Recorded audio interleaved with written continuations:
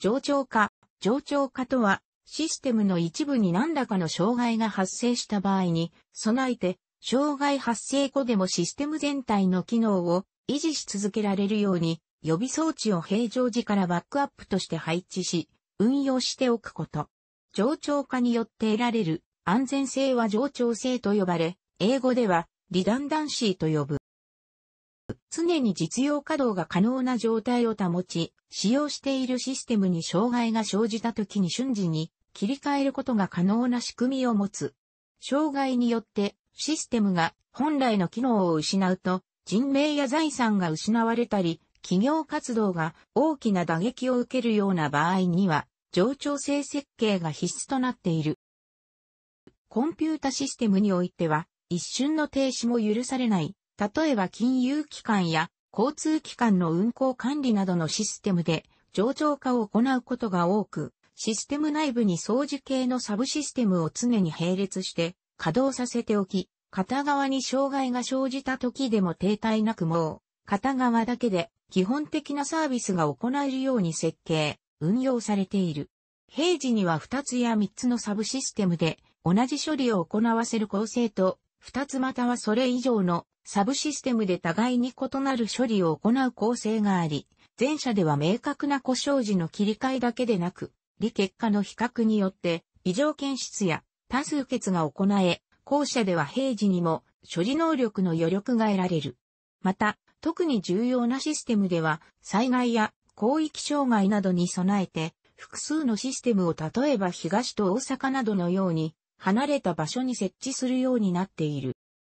こういった上長化は、サービスの継続性が高められるという点で有用であるが、多額の費用がかかることから、完全な上長化が施せるシステムは、費用対効果の面で限られる。一般の消費者向けや企業でも通常の事務処理で用いられるパソコンでは、瞬時の停止を避けるほどの上長化を施すことは稀であり、ほとんど唯一、比較的脆弱とされるハードディスクドライブの故障だけは作成、保存されたファイルすべてが失われる危険性があるので、RAID によって上長化が行われることがある。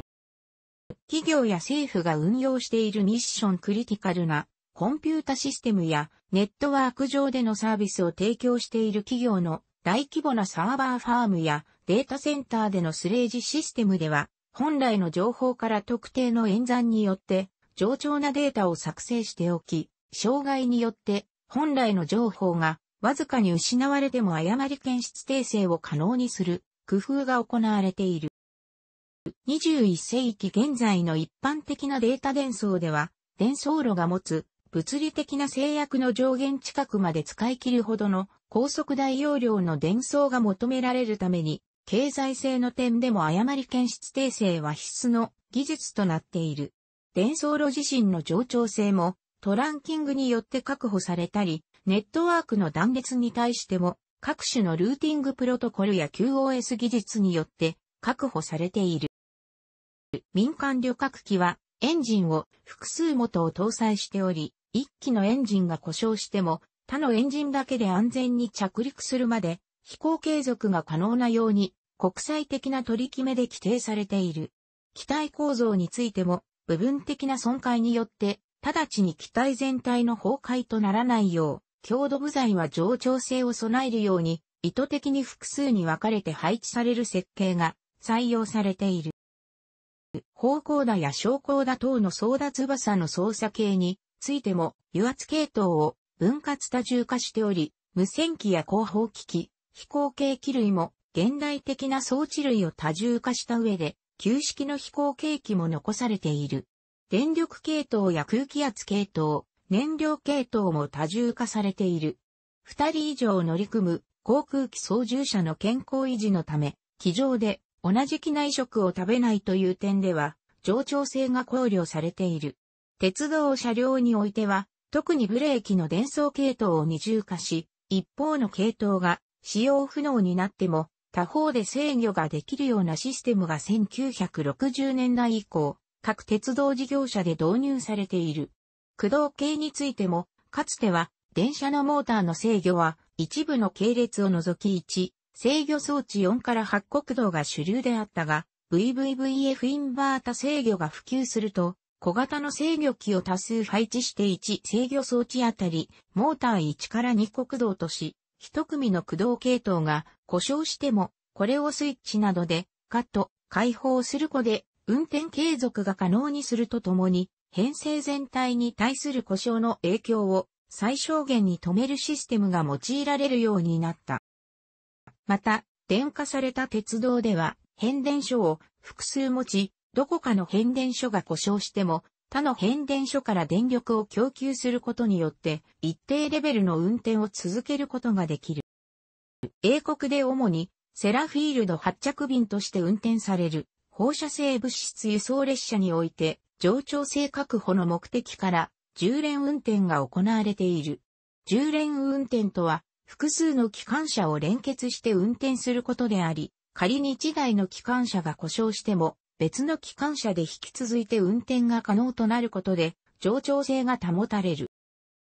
日本では直流電気機関車が使われ始めた大正時代や昭和中期の交流電気機関車の早々期などに電気機関車の信頼性が低かったため、信頼性の高い蒸気機関車を重連運転する電乗運転を行っていた。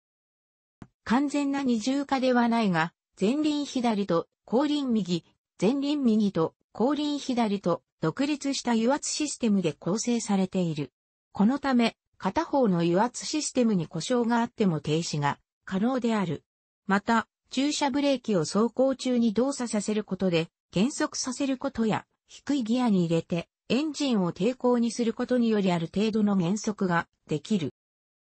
電力系統の機能停止は電力供給を受けている需要化すべてに大きな被害を与えることになる。特に都市規模の広域停電、大規模停電では、被害の規模は大きい。欧米域での送電会社や日本での電力会社などでは、送電網や配電網の事故を瞬時、短時間で切り離して、被害拡大を防ぎながら、送電網の事故点の迂回路を設けて、被害を極限化するようにている。このため送電線は、同じルートで通常2系統以上が並行して仮設されている。需要家側も予期しない停電に備えて、電力喪失に脆弱な電子機器には専用の無停電電源装置を備えたり、業務の継続が強く求められる部門では、自家発電装置の導入が行われている。病院や空港での電力喪失事故は、直接人命に関わるため、例えば日本の病院では、ガスタービンやディーゼルエンジン式の発電機や蓄電池が設置されていて、一定時間は確実に電力が確保できるようにされている。2001年に発生したアメリカ同時多発テロ事件で崩壊した世界貿易センターの崩壊プロセスを調査した結果、WTC の鉄筋構造システムは徹底した合理性と最適化を目指して設計されていために崩壊に対する冗長性をほとんど備えていなかったことが判明した。事件を契機として、建築構造モデルの方向性は最適化から冗長性の確保へとシフトした。建築の世界でいう冗長性、リタンダンシーの概念とは、構造解析やデザインにおいて単に安全率を高めることではなく、建築構造を成立させている多種多様な条件の相互関係を変数とて把握し、可能な限り現実に近い変数を備えた合理的 na モデルを構築することである。こうした建築情報の高度化に対応するために BIM や AI などより高度な情報処理技術の導入が進んでいる。楽しくご覧になりましたら購読と良いです。クリックしてください。